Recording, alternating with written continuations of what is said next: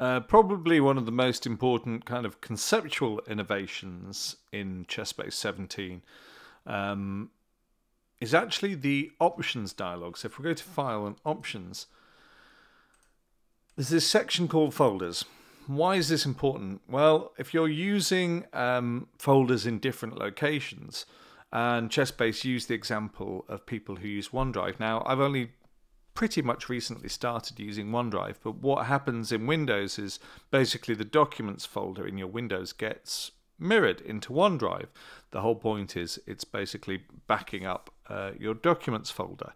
Now, all your databases are stored in your documents folder, and that sometimes it did cause problems with um, the data, with the integrity of the data, because it's stored in two different places.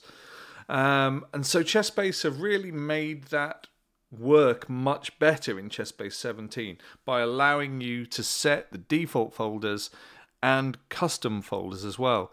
So you can define your own storage paths via custom and specify for each uh, typical storage location whether it should be in the document directory or elsewhere. So um, you can have certain things managed by Windows, and then you could have some available on other computers via OneDrive, for example.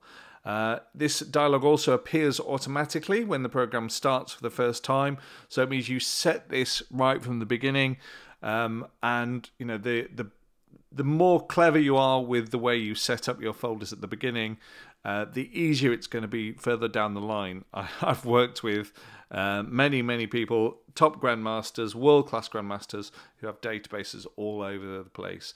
So, this would be useful. Take a moment, use this dialog, uh, set your databases straight away, and um, it will make your life much, much easier in the future.